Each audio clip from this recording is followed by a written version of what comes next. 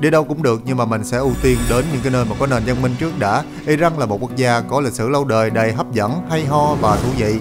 Sau đây thì mình xin kể lại hành trình trong chuyến đi tới xứ sở nghìn lẻ một đêm. Những điểm du lịch độc đáo ở đất nước Iran. Tới Iran như thế nào? Là một quốc gia bị cấm vận nên rất là hạn chế các đường bay tới nước này Chỉ có lẹt đẹt vài cái chuyến bay từ các nước hàng xóm như là Oman, à, Dubai nè hay là Thổ Nhĩ Kỳ mà thôi Riêng lần này thì mình sẽ trải nghiệm đi đường bộ tới Iran coi sao À, visa của Iran hiện nay thì Việt Nam rất là được ưu ái khi mà có thể xin visa trực tuyến. Sau khi điền thông tin xong thì lãnh sự quán sẽ trực tiếp liên hệ với bạn để mà hướng dẫn cách à, nộp tiền euro vào chuyển khoản như thế nào. À, đây là bến xe mình sẽ đi từ uh, Armenia đi qua Iran tại uh, Tabriz mình đi uh, xe buýt tới 12 tiếng làm kinh khủng không? Rồi gần ở cửa khẩu làm thủ tục nữa. Bây giờ uh, vô uh, đợi xe thôi. Mỗi ngày chỉ có một uh, chuyến xe thôi uh, đi từ ờ, uh, Armenia đi qua Iran uh, 18 ngàn. Là giá 1 triệu hai một người. Vô lấy giá nha. Đây mọi người đặt vé thì lên uh, trang web này nha của Iran. Hoặc là liên hệ uh, nhắn tin WhatsApp số này cũng được. Đi uh, từ uh, Yerevan đi uh, Tabriz rồi đi Tehran luôn thủ đô của Iran. Đây là công ty uh, chuyên chở nè mọi người tới đây uh, toàn là người Iran luôn nè thấy không đó Trời ơi, Chocolate. Ừ, chocolate. Chocolate. That's that. Ta làm thủ tục để lấy vé xe nè. Hi. Ồ, xe buýt cũng rất là xịn sò nha. Xe hạng sang đó nha. Bà nói này là xe hạng nhất VIP đó nha. Có lót thảm nữa.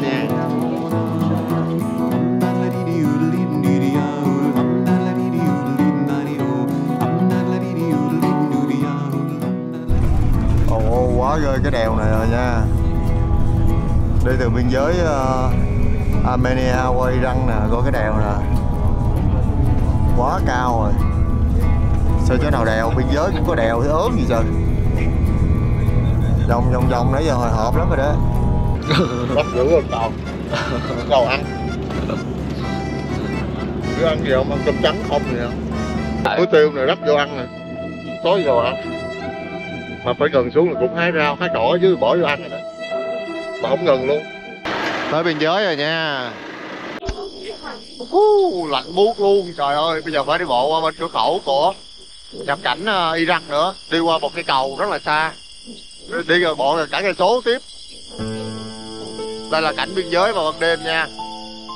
À, đi qua cái cầu này là tới uh, đất nước Iran cửa khẩu biên giới của Armenia có tên là Ararat.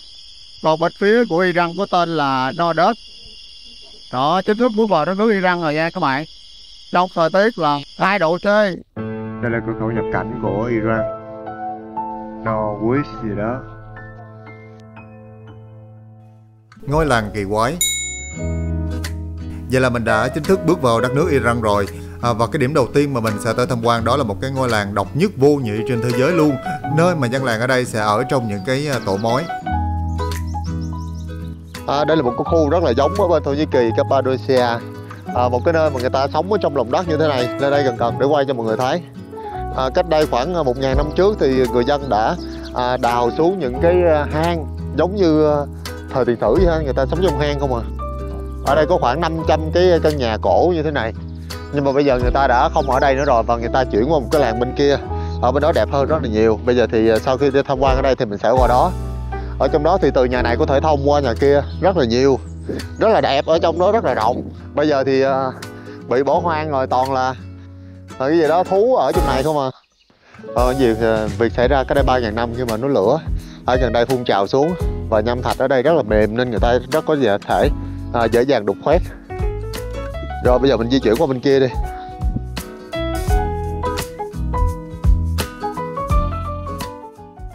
Rồi đi không xa thì mình đã tới được ngôi làng à, Kandovan rồi.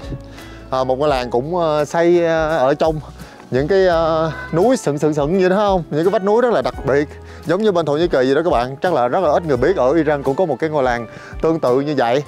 Ở đây có khoảng 150 ngôi nhà. À, Nơi này chắc là rất là ít người tới đây. Một nơi rất là xa lạ và lạ lẫm với đối với du khách Việt Nam Còn đây là anh hướng dẫn viên của mình hay tên gì của anh nè Aiden. Hi Aiden. Yes. Say hi. Hello. Uh. How are you? He's uh, my uh, guy today in the village. okay, keep walking. Rất là đẹp ha, nhìn giống như là những cái uh, tổ mối vậy đó các bạn. Những cái ụ mối rất là cao. Nào là có cửa sổ, có nhà nữa. Mình thấy ở đây nó tập trung là thành một cụm đúng không? Chứ không phải bên Thổ Nhĩ Kỳ, Cappadocia là nó dàn trải ra. Còn ở đây là tập trung lại thành cột rất là dài như vậy. Một cái làng ờ, rất là thú vị. Nhìn bao quát cũng rất là hay ha. Không biết là mọi người có thích những cái lối sống mà thuận theo tự nhiên như thế này không ha à, tận dụng những cái gì có sẵn và họ chỉ đục đẽo và ở trong đó thôi dù đơn sơ một mạc nhưng mà bên trong ờ, cũng rất là ấm cúng không cần quá đầy đủ tiện nghi giống như những căn nhà lầu còn gì nữa rất là cao cao hơn mấy cái căn nhà đầu bây giờ nữa. Đúng không? Mà còn tầng tầng lớp lớp trèo từ tầng này lên tầng kia rất là sâu trong đó còn có cầu thang đi ở trong đó nữa chứ. Nhìn có hơi lon lỗ ha ai mà sợ lỗ chắc nhìn sợ lắm nè. À, đây là một cái thánh đường vào à, ngày lễ thứ sáu của người đạo hồi. À, cái đây 200 năm thì có một trận động đất xảy ra ở đây nên à, người, người ta đang trùng tu lại.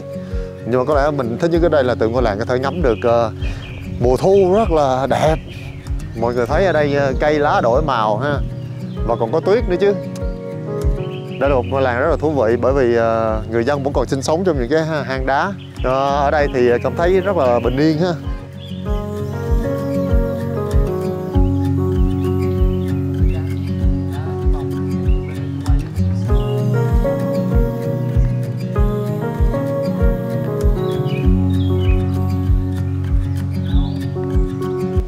Cái uh, chõm núi như vậy ha thì có từ 4 đến 5 ờ, hộ gia đình ở chung với nhau. Ờ, đa số là chung một cái gia hệ các bạn. Ờ, mình vô đây để mình xem uh, gì uh, toàn cảnh một cái căn nhà ở trong đá như thế nào ha. Nói chung đây là một cái viện bảo tàng sống nha người ta vẫn còn ở trong này.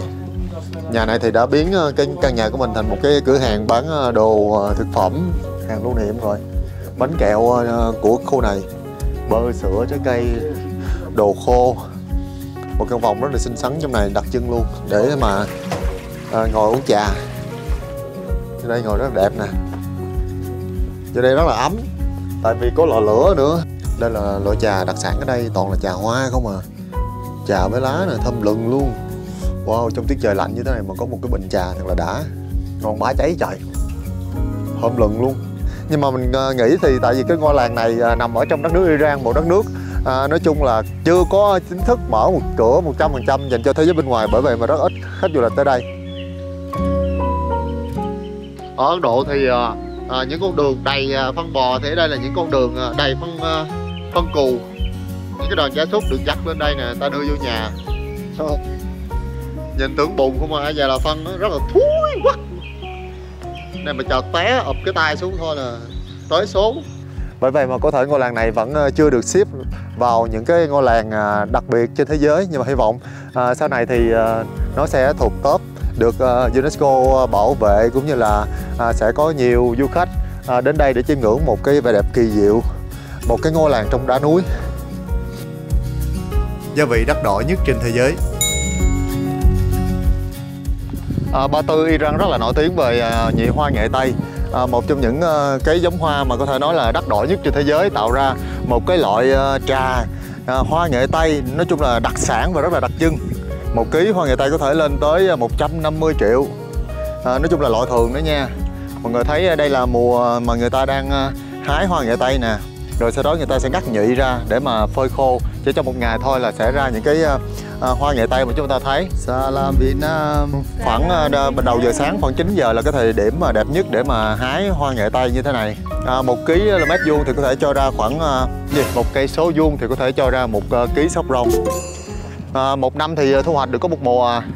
ví dụ như ngày hôm nay thì à, cái bông này nó à, nó mọc lên nhưng mà ngày hôm sau thì sẽ có những cái cây khác tiếp tục à, nở bông nữa và người ta tiếp tục đi thu hoạch. Và chỉ trong mùa này thôi à, thu hoạch khoảng một tuần là hết cái cánh đồng này rồi à, đây là lần đầu tiên mình đến à, thăm một cái vườn à, bông nghệ tây luôn ngồi thấy xung quanh rất là khô cằn nhưng mà có một cái cánh đồng hoa màu tím như thế này nở rộ lên nhìn nó cũng có rất là đầy sức sống ha những người dân đây đang đi hái hoa What's the name of this uh, town? This town Sarvastan. Shiraz, near Shiraz. Oh, the best. And the important part is here. Yes, that This one. one. the original parties here.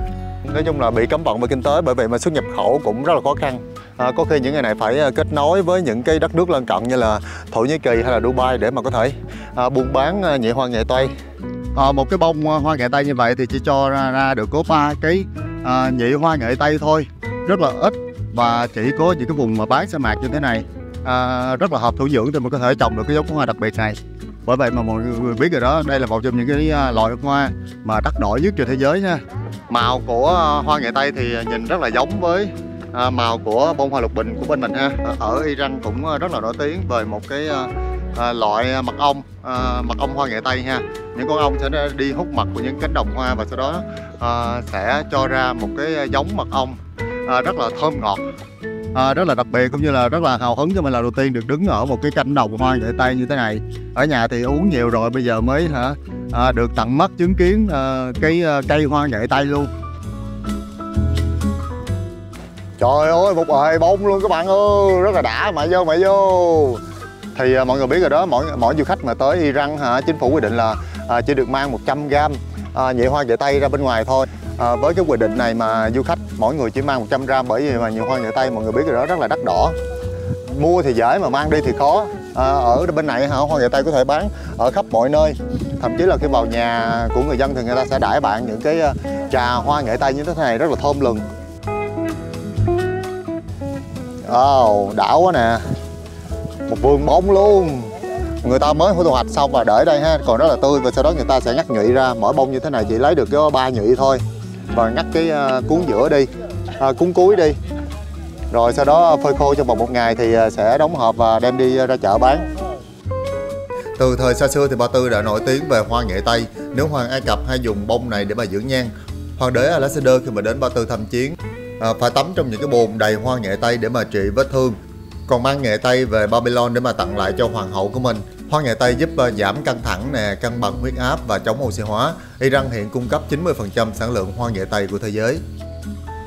Bỏ vào trà nước nóng uống bình thường thì ờ, vẫn bạn có thể ờ, bỏ vào trong cơm để nấu để ra cái màu vàng rất là đậm rất là đẹp. À, ngoài ra thì chúng ta vẫn có thể làm bánh hoặc là nấu chè gì đó tùy mọi người. Nói chung là rất là nhiều công năng. Thu mua từ chính nông dân ở của Iran luôn. À, đây một cái shop rất là xinh xắn à, và chính hiệu Iran uh, Saffron à, đi ra ngoài cho mọi người thấy ờ, nguyên cái cơ hiệu coi nào. À, đó nếu mà anh chị và các bạn có đi ờ, ngang đây xem được cái video này thì có thể liên hệ uh, nhắn tin với Pauka để có thể có được uh, những cái uh, hương liệu saffron trà thượng hạng từ răng tốt nhất cho sức khỏe của mình nha. Theo như anh đối tác của mình nói thì vẫn có những cái loại hoa nghệ tây đồ giả nha các bạn. Giống như đây nè mọi người có thể phân biệt lần đồ thiệt với đồ giả nè. Đồ thiệt thì nó rất là dài nhìn là cái cuốn hoa rất là thật chất còn cái này bên trong à, rau bắp á, họ cán ra cho dẹp rồi sau đó nhuộm màu lên. Cái này có thể làm gỏi ăn được luôn các bạn ơi. Gỏi uh, bông nghệ tây. Ăn thử coi. Uhm. hơi chắc chát. Uống cũng ngon mà ăn cũng được. Giống như mình bông lục bình cũng ăn được đó thôi. Những thánh đường kỳ diệu à, đây là thánh đường màu hồng. À, thánh đường hồng ha. À, không những có màu hồng mà ở đây còn có rất là nhiều hoa hồng. Một trong những cái thánh đường có thể nói là nổi tiếng và đặc trưng nhất của xứ Ba Tư luôn. Bởi vì ở đây có những cái kính à, bằng màu. À, khi mà buổi sáng là cái thời gian mà thích hợp nhất. Bởi vì nắng sẽ chiếu vào đây. Nhìn bên ngoài thì chúng ta sẽ không thấy ờ, những cái kính này sặc sỡ màu sắc đâu nhưng mà vào bên trong thì sẽ thấy. Trời ơi! Cái không gian đầy màu sắc bởi những cái phản chiếu từ những cái ánh kính xuống dưới ờ, sàn nhà. Một cái hình tượng mà có thể ờ, nói là rất là đặc trưng, rất là nổi tiếng, ai cũng biết về cái xứ Ba Tư này. Ôi quá là tuyệt vời luôn. Bình thường mình thấy ở trên hình đã long lanh rồi đúng không ha? Mà đứng ở trong thánh đường này ờ, Nhìn những cái ánh màu sắc phản chiếu xuống như tấm thảm Ba Tư, Cực kỳ lộng lẫy. Quá là huyền diệu luôn các bạn ơi. Rất là đẹp.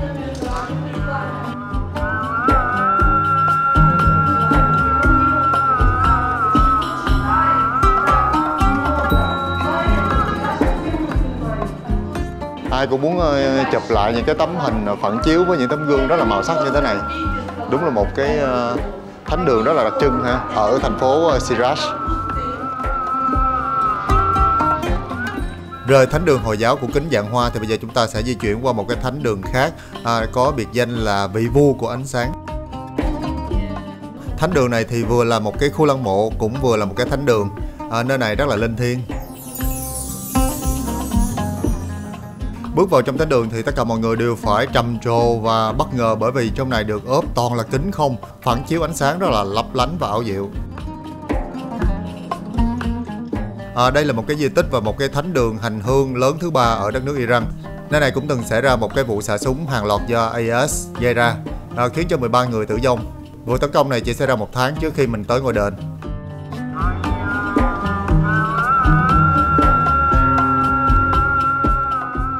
Một ngôi đền rất là lung linh nhưng mà mình cũng không dám nán lại lâu. Bây giờ chúng ta hãy di chuyển qua một cái ngôi đền khác.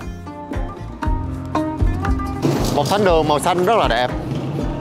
Ở thành phố nào của à, Iran cũng có một cái thánh đường như thế này. À, và màu màu xanh thì tượng tượng trưng cho bầu trời. À, tức là về với đấng tối cao. Và mọi người thấy là được điêu khắc à, và được khắc chữ Koran lên à, xung quanh à, bây giờ chúng ta hãy vào trong nhé. Ngày trước cái đền này là về à, à một cái ngôi đền của bái hỏa giáo. Sau đó thì người ta mới chuyển thành à, cái ngôi đền theo đạo hồi vào thế kỷ thứ 14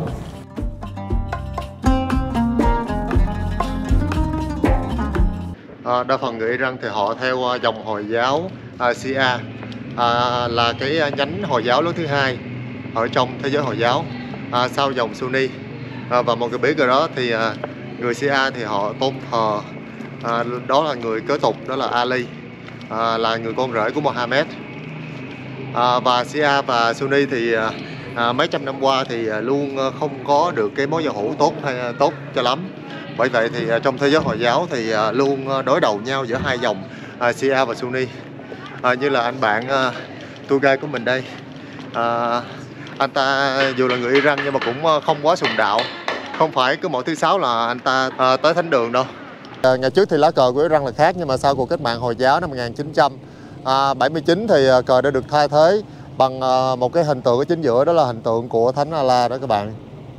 À, đây một cái quảng trường cũng rất là rộng ở Giáp một quảng trường này rất là nổi tiếng đây mọi người thấy ở trên mạng thì hay à, hình ảnh này đại diện cho Giáp đó.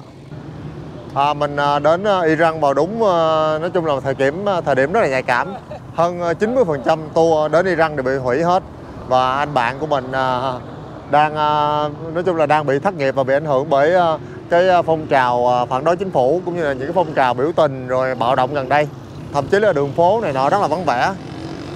À, trời và à, bây giờ hả sử dụng mạng ở uh, Iran cũng là vấn đề nan giải. Hàng chục cái VPN đều bị bẻ khóa hết không thể nào lên được. Nhắn tin Zalo cũng không được. Lên Facebook Instagram đều bị khóa hết à, lên những cái trang mạng để đọc tin cũng không được luôn. Miễn bàn về chuyện chính sự nhưng mà ai giật dây mấy cái cuộc mà loạn lạc à, ở Iran thì cũng biết rồi. À, đi xe dịch cũng bị ảnh hưởng rất là lớn bởi mấy cái chuyện đại sự này nhất là đến một cái quốc gia có nhiều thù địch thì càng căng hơn nữa. Ai cũng nói là nếu đã đi Israel thì khó mà nhập cảnh được vào Iran. À, còn nếu đã đi Iran thì khó lòng mà đậu visa Mỹ. À, trên hộ chiếu của Iran cũng có ghi rõ là à, cấm công dân của nước này đi đến những cái vùng mà Palestine bị chiếm đóng.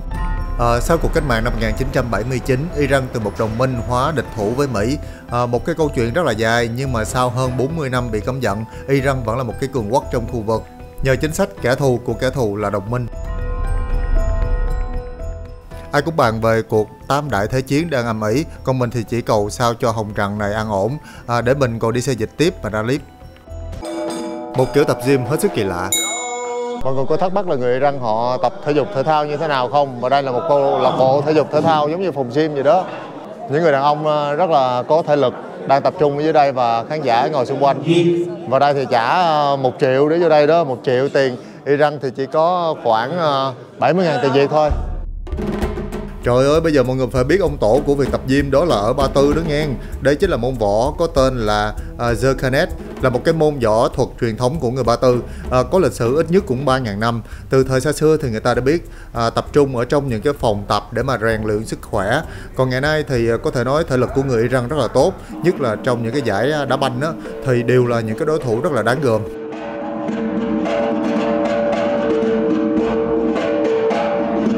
ở đây ờ, thì ờ, có du khách người Nga nữa. Và ở trên đây thì có một ông đang ờ, hát.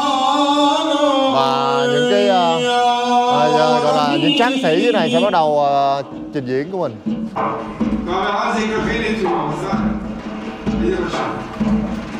Zira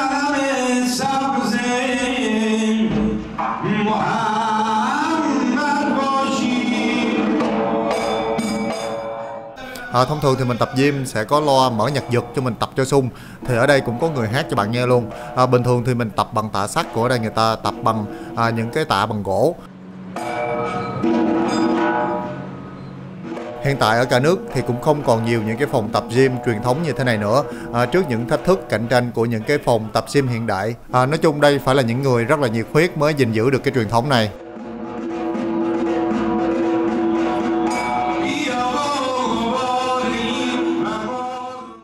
Một không gian rất là kín.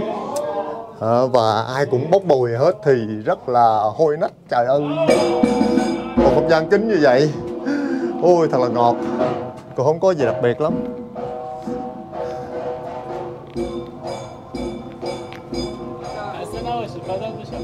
Bye. Xin. Ngôi làng cổ dưới lòng đất. À, mình phải đi một cái hành trình rất là xa từ thủ đô Tehran mà xuống phía nam tới đây là khoảng 900 cây số lận. À, bây giờ thì mình sẽ vào một cái ngôi làng rất là đặc biệt, một cái ngôi làng cổ ở dưới lòng đất. Anh bạn Iran của mình nói khi mà chúng ta nhìn vào một cái tổ mối thì cũng giống như là cách mà Thượng Đế đang quan sát thế gian vậy đó. À, con người có thể dẫm lên cái tổ mối làm nó banh chành thì Thượng Đế cũng có thể ban phước hay là trừng phạt nhân sinh bằng cách như vậy. Nhìn chung thì sinh mạng của những cái loài vật sống trong cái trái đất này cũng chỉ là những cái sinh linh mong manh trong vũ trụ này mà thôi. Nhìn từ xa thì thấy là một cái ngôi làng rất là hoang vu, nhưng mà bên dưới lòng đất thì người dân vẫn sinh hoạt rất là bình thường. Tổ tiên của họ đã định cư ở đây từ hơn 2.000 năm trước và truyền lại cho con cháu sau này.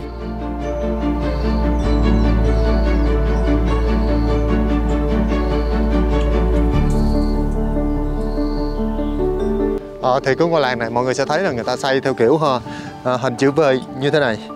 À, tất cả mọi người tập trung vào đây nhưng mà bây giờ ngôi làng này rất là ít người sinh sống tại đây đa phần là người già thôi. Hoặc là họ cho thuê lại để cho những cái người trẻ họ làm khách sạn cho du khách lưu trú.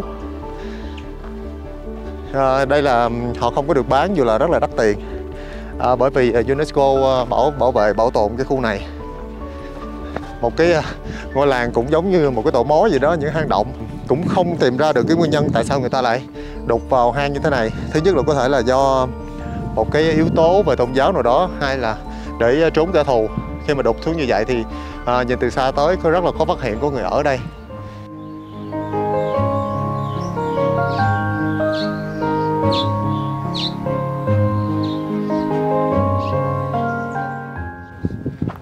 À, đây là một cái khu vực rất là hoang vu và hẻo lánh à, nói chung là cách xa à, những cái làng mạc xung quanh đây. À, đây là trái tim của Ba Tư luôn. Do là đục vào hang núi nên không có nhà vệ sinh ở trong.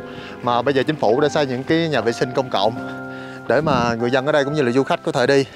À, những cái hang đá như thế này thì rất là tương tự như hang đá ở ở đâu? Ở Thổ Nhĩ Kỳ cũng như là ở Ấn Độ. Khác với Ấn Độ hay là công trình của Phật giáo này nọ mình đã cho mọi người xem đó. Ờ, à, điêu khắc rất là tỉ mỉ còn trong này thì người ta chỉ đục vào rồi ở trong đó thôi. Thật là uổng khi mà rất là nhiều căn nhà ở đây bị bỏ hoang như thế này. Sơ sát không ai ở chân rất là ít căn nhà còn ờ, có sự sống. Những căn nhà như thế này tốn biết bao nhiêu công sức để mà đục đẽo vô những cái hang đá. Vậy bây giờ không ai giữ gìn hết trơn biết đâu một cái di sản gì đó dần biến mất rồi trời. À, đây là một cái ờ, nhóm cầu thủ bóng đá của một cái câu lạc bộ nào đó đến từ uh, Shiraz. Fahoka ok. Quá nổi tiếng rồi không? Đây ai cũng biết hết. Go go go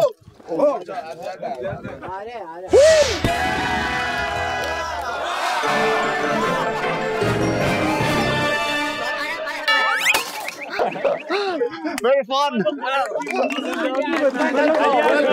Yeah.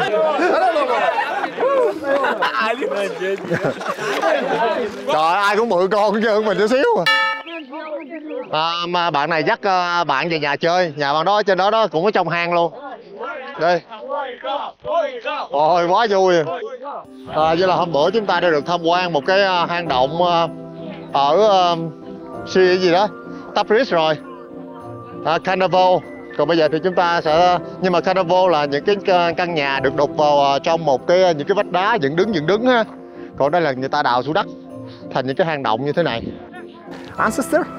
Ancestor. Can you yeah, yeah. ancestor. Uh, my ancestor and my grand uh, father and mother uh, lived there. And uh, this is a You born there? yeah yeah À, dân số ở đây chỉ còn khoảng à, ba chưa tới 30 người nữa và toàn là người lớn tuổi thôi. Nếu có tới đây thì mọi người à, à, liên hệ số này ha để lưu trú ở đây một đêm cũng rất là thú vị. Buổi đêm, ban đêm bầu trời đầy sao luôn, buổi sáng thì trong vắt như thế này xanh trong. Nhưng mà ở đây à, không có thể nào mà đặt được trên những cái à, ứng dụng đặt phòng đâu nha mà phải liên hệ bằng WhatsApp. Mọi người nhắn tin WhatsApp. Mà WhatsApp bên này thì cũng bị chặn luôn nên phải vô dùng VPN. Mà mình thấy ở đây hả, mình tưởng đâu là lên những độ cao rất là cao thì mới khó thở ha, 3 4 ngàn mét nhưng mà ở giữa sa mạc như thế này đi bộ cũng rất là ở trong gai. Trời ơi nãy giờ muốn hụt hơi rồi đó bởi vì lên cái dốc này rất là bình thường ha. Ở dưới đồng bằng mình thì phải ra à mà. Để đây là đuối sức rồi đó. Mọi người thấy cây xanh ở đây rất là hiếm. Mà hả, những cái đoạn đường của Iran mình thấy hả, đi dọc đường chả có một cái bóng cây xanh nào hết trơn á. Toàn là khoáng mạc sa mạc không à. Bởi mới thấy hả rừng thì mình không biết quý trong khi ở đây ta không biết rừng là gì. Lì xì ấy Trái gì ạ? Trái, trái gì ạ? cho táo ông ơi Ok Táo khô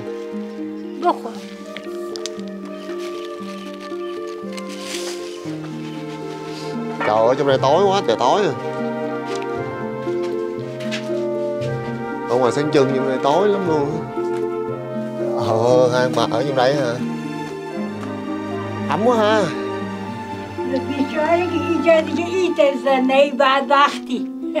có bếp nè có chỗ ngủ nè. Hai ông bà ở chung hạnh phúc vậy ha.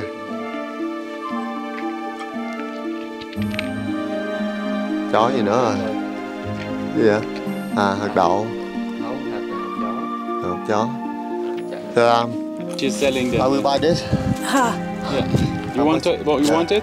این بادو این چنده مادر رو گردو پوست شده چنده؟ این گردو دادن ست چرت مغزه پنج نه نه نه اون مغزا مغزا مغزا مغزا باشه. پنج تومن دیگه دوست نداشته باشم چیکار می‌کنم I have و to. کجا می‌تونم برم دیگه where, where can I go then? پارسال الان به مردن رسیدم به مردن رسیدم. رفتم های های کرونا رو گرفتم ها دیگه هیچ خدا که مرده بیدم دور از جون چهار چهار پنج شو تو آیسیو بیدم دیگه. اه، ها آخه. ایتو đây là chỗ để chứa lương thực nè có lựu trái cây đồ Ờ, chắc là gạo bắp nếp rồi đó và rất là nhiều hạt này nè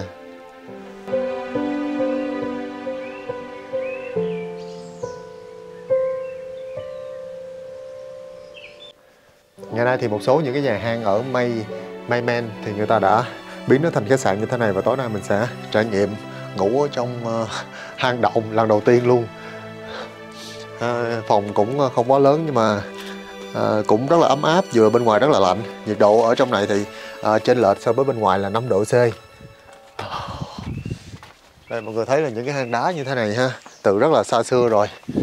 Xung quanh đây có khoảng tới 2.000 hang động lận rất là nhiều là rất là đặc biệt. Và đây chính là di sản à, văn hóa thế giới nhé được UNESCO công nhận. À, nó cũng ấm nữa nhưng mà thấm chắc là từ thiên niên kỷ rồi nên nó tích tụ uh, âm khí nhiều quá rất là lạnh. Nhưng mà à, mình cảm thấy rất là tội nghiệp à, những cái người làm dịch vụ ở đây thấy rất là thương. 10 ngày mới có một cái phòng đặt chỗ. Mà những cái phòng như thế này cảm thấy rất là lạnh lẽo bởi vì rất là ít người ở. Hy vọng là mọi người có thể biết đến chỗ này và tới đây ủng hộ người dân ở đây chứ mình thấy họ cũng thấy thương lắm đầu tư cơ sở vật chất này nọ vào mà không có du khách. Mình ở đây mà không biết là ai đã à, cỡ ngàn năm trước thì ai đã từng ở trong cái căn nhà này trời? Ha. biết bao nhiêu gia đình hay là tờ tiền sử gì đó ở trong đây mà tự giờ mình chui vô đây mình ở. Nãy giờ cũng uh, giái trời giái phật dữ lắm luôn. Đây là bữa tối trong hang động. Có gì đây? Trời bánh mì gì rồi cứng dữ vậy? Bread. Bread? trời ơi đập đầu cũng chết nữa. Gì cứng như hả cứng quá à. Cái này gì vậy Cái gì trời? Cái này không có gì chân sữa gì không à?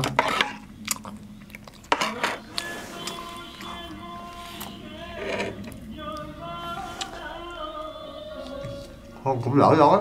À, Biết đâu ờ, chừng vài chục năm nữa nơi này sẽ không còn ai ở nữa thì sao? Nhưng mà hy vọng là nó sẽ ờ, ngày một hưng thịnh hơn Du khách tới đây đông hơn nữa để những cái ờ, căn nhà ờ, đặc biệt thế này trong hang đá sẽ hồi sinh trở lại. Tạm biệt chúng ta tiếp tục di chuyển hành trình khám phá đất nước Ba Tư xinh đẹp. Chào mừng các bạn đã đến với giác của Ba Tư, thành phố của những cái ống thông gió rất là đặc biệt.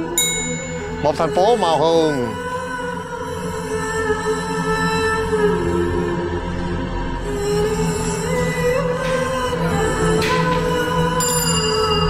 Bởi vì ở Giáp ờ, rất là ít mưa nên người ta có thể sử dụng được. Chứ ở xứ mình ờ, mưa xuống cái là chành nhẹp liền. Nên là bùn họ trộn với rơm rồi bôi lên tường ha. Cả một cái thành phố toàn là màu vàng của bùn đất.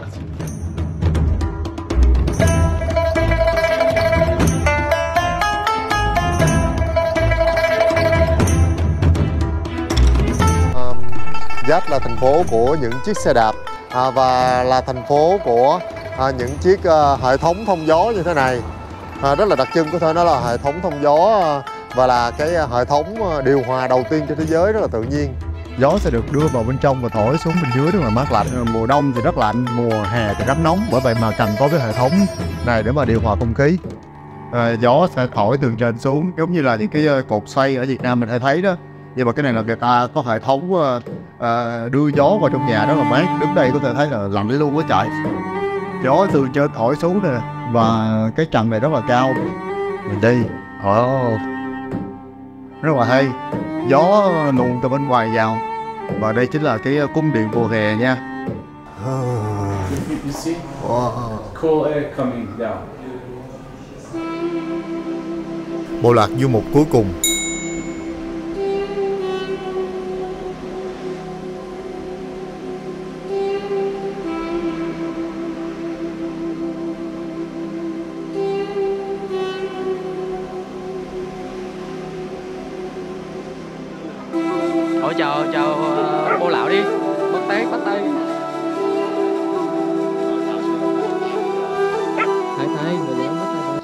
vui khi mà có cơ hội được ờ, thăm ờ, gì gọi là những cái người du mục ở Iran. Iran thì có rất là nhiều người du mục từ người Kurd nè, ờ, nói tiếng Kurd, Kurdish cho tới người nói tiếng Thổ Nhĩ Kỳ cho tới người nói tiếng Ả Rập. Mọi người thấy những cái con chó ở đây đã bị cắt những cái vành tay của mình rồi đúng không? Không có con nào mà có tay hết trơn á bởi vì do là khu rừng rực này có những con sói nó sống trên những cái núi đó đó. Ban đêm nó có thể xuống đây nó ăn trộm đàn gia súc nên người dân ở đây người nông dân đó đã cắt tay để ờ, buổi tối nó có thể nghe được rõ hơn. Tội nghiệp không? Không có con nào có tay chứ. Từ ờ, nhỏ là đã bị cắt rồi như con này nè. Đằng kia kìa đang bị rất là đau đớn. À, còn đang rỉ máu? Tội nghiệp chưa? Đau dữ rồi hả? Quest 2 là một bộ lạc du mục cuối cùng của Iran. Họ có nguồn gốc từ người Thớt ở vùng Trung Á, à, chủ yếu ngày nay sống ở vùng Tây Nam xứ Ba Tư. Họ sinh sống bằng việc đó là chăn nuôi gia súc, chủ yếu là dê và cừu, à, trong những cái hoang mạc khô cằn để lấy thịt và sữa.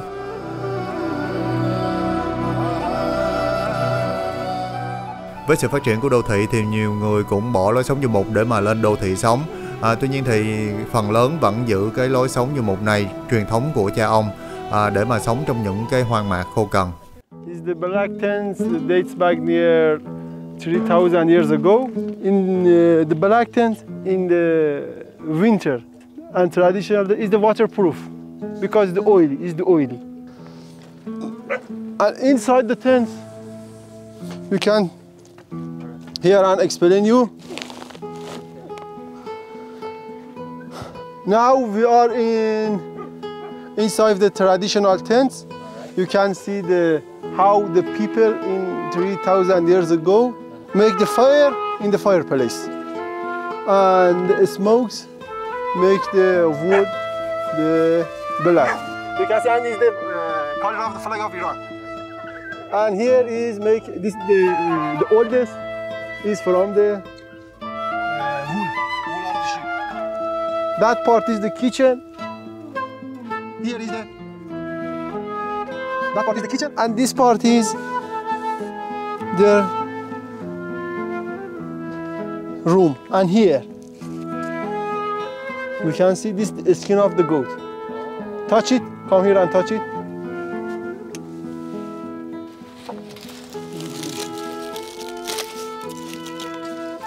giòn không à.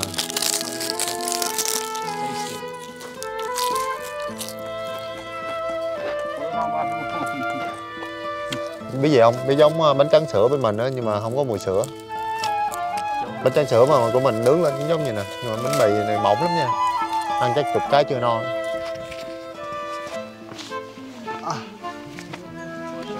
trời ơi hồi quá they just one one day newborn babies. Yeah. Oh. Hey, vad använder du dem för? Inte de här. Hä? Eller? ما ولا؟ ها؟ چون دو سه روز پیشه این همش دو سه روزه است سه چهار روزه است hôi quá để bảo vệ đàn gia súc của mình á, thì những cái con nhỏ sẽ được đưa vào một cái lồng nhỏ như thế này bởi vì xung quanh đây có rất là nhiều cáo cũng như là những cái ờ, con sói bởi vì mà đưa những cái con nhỏ vô đây sẽ an toàn hơn giữ được cái đàn gia súc của mình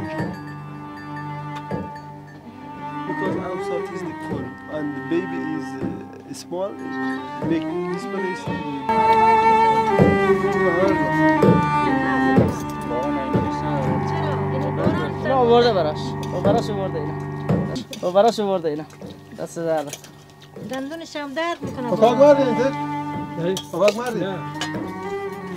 giống Việt Nam mình ngồi nhậu ha یا نه xuống miền Tây là nhà chơi cứ ngồi tầm tầm như nè با خدا شرمنده خیلی هم زحمت cái lấy ờ, đặc sản đồ ra ờ, đãi khách nhà có gì đãi món đó thôi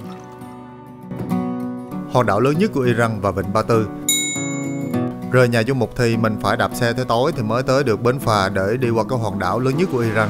À, hòn đảo này nằm tuốt ở phía nam lặn là hòn đảo lớn nhất trong vịnh Ba Tư à, và bên kia đó chính là đất nước Oman và các tiểu vương quốc Ả Rập thống nhất. À, đảo này dài 135 cây số và có rất là nhiều điểm du lịch hay ho đặc sắc ở đây. Đảo này thì dân cư sống không có đông, rất là heo hút và thưa thớt ở đây. À, mọi người thấy thì đây chính là một cái hải cảng cổ. Dù là một cái thành phố sát biển luôn nhưng mà ở đây không có phát triển về du lịch, rất là ít du khách. Từ trên cao nhìn xuống thì mọi người có thể thấy một cái thành phố biển cổ với rất là nhiều những cái ống thông gió đặc trưng.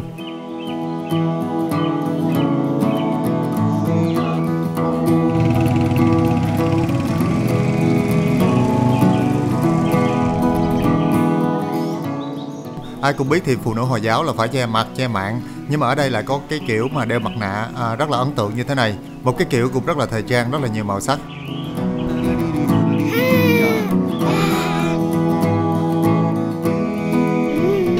Sevemez misin?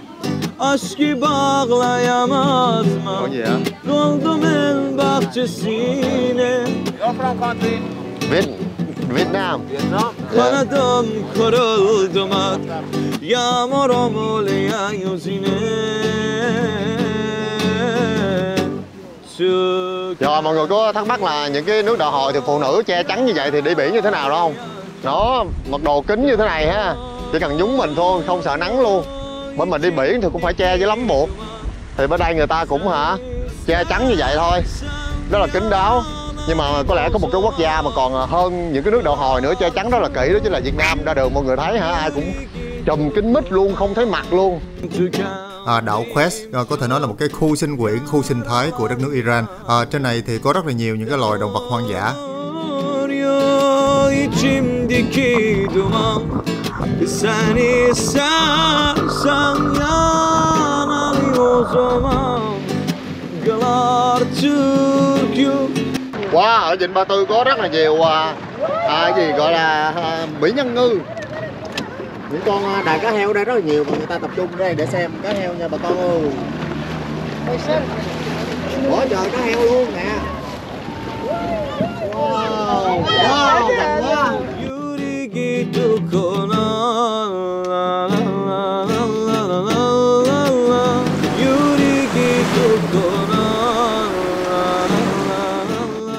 Trên bờ hay dưới nước gì cũng ờ, rất là nhiều những cái loài động vật hoang dã. Dưới nước thì có cá heo, còn trên bờ thì lắm lạc đà. Đặc trưng ở đây là những con lạc đà trên biển ha Bình thường mình thấy lạc đà trên sa mạc thôi Đây là lạc đà đi trên biển luôn. Kìa là đắng đóng luôn kìa. À, do là khí hậu ở vùng này khá là nóng khô bởi vậy hả? Những con lạc đà nó phải xuống biển nè tắm mát.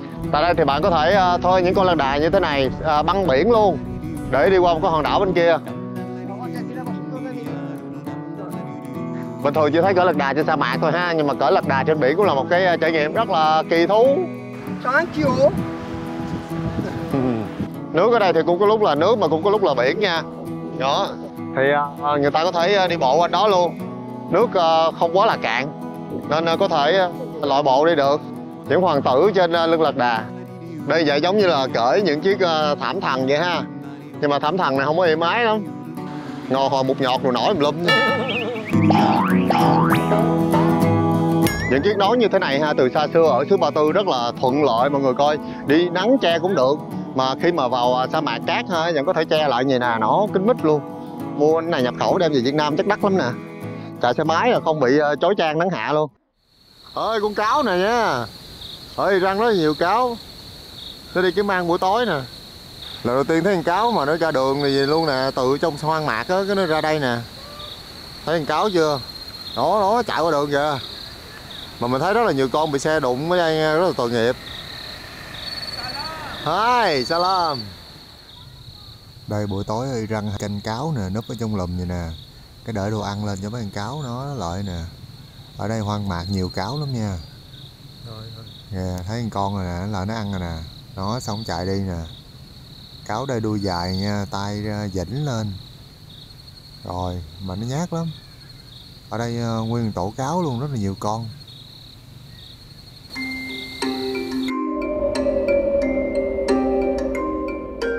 Nơi này thì khắp nơi toàn là những cái hoang mạc khô cằn, à, không có một bóng cây nữa, nhưng mà đã tạo ra những cái ờ, di sản thiên nhiên vô cùng đặc biệt. Không ngờ một ngày mình lại đến một cái vùng đất mà nó khô cằn như thế này trời. Vừa nóng được, Xung quanh chẳng có cây cối, không có nhà cửa. Nhưng mà đây lại là một cái vùng đất gọi là di sản của ờ, thiên nhiên Của UNESCO nha. Ở đây có một cái hang rất là đặc biệt đó là hang muối. Ồ tới cửa hang rồi trời. Đã chưa? Nè. Mua vé tham quan ở đây rất là rẻ chỉ có ba bốn chục ngàn tiền Việt thôi. Mọi người thấy ở đây là có những cái tinh thể muối bắt đầu xuất hiện rồi hả? Nè. Lấp lánh lấp lánh lấp lánh. À, chúng ta biết là có ở trên thế giới có nhiều hang rất là đặc biệt như là hang băng còn cái này là hang muối nha. Còn ở Việt Nam mình thì có gì hang à, động lớn nhất thế giới. Đây mọi người thấy à, muối mà nó tạo nên những cái vần vần rất là đẹp nè. Giống như cầu vồng vậy đó ha. Mà đây là tinh thể muối nha. À. ừ, mặn lắm. Giống như muối ăn của mình vậy đó ngộ á. Mà nhìn lên thì giống như san hô vậy đó. Look like coral in the ocean. Thấy không? Giống như băng đá vậy đó. Nhưng mà đây là những tinh thể muối à. Ừ. Ừ. Ờ, mình thử cái vị muối ở đây nó rất là thanh nha nó không có chát như là cái vị muối biển ở bên mình. À, giống như những cái hang động này á, đã ở dưới ờ, đại dương hàng triệu năm rồi giống như nước biển nó thấm vô. Bây giờ ờ, nước rút á thì bắt đầu muối rồi nó tràn ra nè. Quá trời muối luôn trời rất đẹp. Hay quá à. Nè đã quá à rất là đẹp. Muối này có thể nấu ăn được luôn á các bạn. Quá trời luôn. Nấu ăn voi vậy hả? Ngon gần chết luôn. Ồ giờ đây tối quá phải đeo đèn vô nè. Thôi cái đèn này nhiêu mà mười ngàn tiền việt nè. Where are you? Đó. Ủa chỗ này Ngộ quá ta, ơi đẹp quá hả chưa đâu thấy muối nhiều vậy luôn đó trời. Một cái hang động rất là xa và nó dài tới ờ, gần ờ, bao nhiêu sáu cây số lần Tới đây bắt đầu nó nhỏ lại nè. Chắc phải ờ, cần thêm một triệu năm nữa để nước bào mòn. Một triệu năm sau quay lại.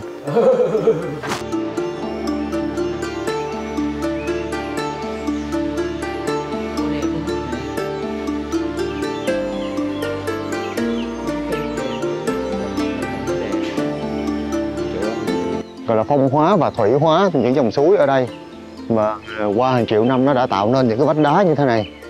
Đây là một cái hẻm núi ờ, cũng rất là nổi tiếng ở Iran. Mọi người thấy hai bên ờ, dốc đá dựng đứng ha. À, nó cao tới khoảng 200 mét. Có những cái cột rất là cao đằng kia đi càng sâu sâu vô đây thì sẽ thấy càng lạ. Mọi người thấy ở đây người ta lấy nước nè. Salad đây là cách người ta giữ nước ở đây bởi vì vùng đất này rất là khô nên phải có những cái giếng như thế này. Bởi vì mới nói là người Việt của mình phải là rất là à, sung sướng và tự hào khi mà mình được ở một cái vùng đất mà nó nhiều thắng cảnh thiên nhiên đẹp như vậy. Chứ còn ở Iran này hả? Mà đi mấy trăm cây số luôn mất rất là nhiều thời gian đi cả ngày vậy đó. Mà cũng không có gì tham quan nhiều hết trơn á vùng đất rất là khô cằn hiếm lắm mới có những cái cảnh mà thiên nhiên nó độc lạ như thế này. À, nhưng mà thật ra ở phía bắc của Iran rất là đẹp nha cảnh như là châu Âu luôn. Đi từ thủ đô Tehran đi lên phía bắc. Ở đó có những cái đồng cỏ và thậm chí người ta còn trồng lúa nữa. Chứ còn ở dưới khu khu vực này thì quá khô cằn rồi nông nghiệp không phát triển nổi luôn. À, thấy mà người ta cũng đi tham quan ở đây nhiều lắm bộ ha. Tức là khu này cũng là nổi tiếng với dân à, bản xứ đó. Wow một cái hẻm rất là xa. Nếu các bạn thắc mắc là cuộc chiến của những vì sao xảy ra tại đâu thì đó chính là đây thung lũng của những vì sao.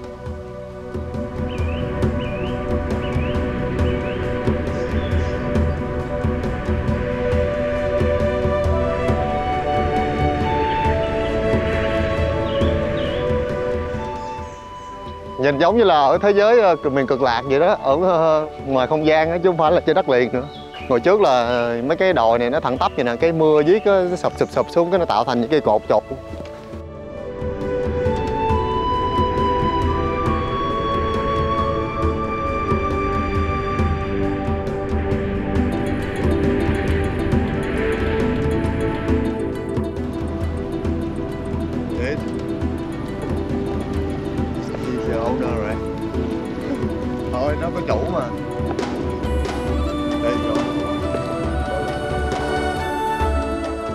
Sau khi hai đêm ở đây thì bây giờ mình sẽ bắt phà để đi vô lại trong đất liền. Nghe nói là sau này Iran sẽ xây một cái cầu rất là xa nối đất liền với đảo Quest. À, đây là một trong những cái kiểu nhà truyền thống của người à, à, Iran, đặc biệt là tại Giáp. À, ở chính giữa thì có đài phun nước rồi ha. À, nếu mà có đến Giáp thì mọi người sẽ được ở trong những cái à, khu vực khách sạn à, tương tự như thế này. Ở trong khách sạn thì gặp một cái à, bạn này rất là vui ha. Bạn là người à, à, Afghanistan. À, khi mà Taliban chiếm đóng thì mọi người biết rồi đó có rất là nhiều người di cư à, và Iran là một trong những cái đất nước mà có số lượng người di cư đông nhất trên thế giới trong đó có người Afghanistan. À, bạn này đi qua Iran để du học tại à, thành phố Yat không biết học cái gì nữa mà coi nè. Can I borrow this? Arabian. Arabian. à, Arabian. viết từ à, phải qua trái còn số là viết từ trái qua phải. Please, I want from you, please come I cover you. Don't worry. Well, okay. Don't Okay, worry. okay. Yeah. dữ I will Now uh, in Afghanistan is very peace. oh peace now Yeah, peace. đoán thử bạn này nhiêu tuổi how are you I am 25. Trời ơi, mới có 25 tuổi à mà còn là sinh viên nữa đó nha ok rất là vui được gặp bạn rồi Right.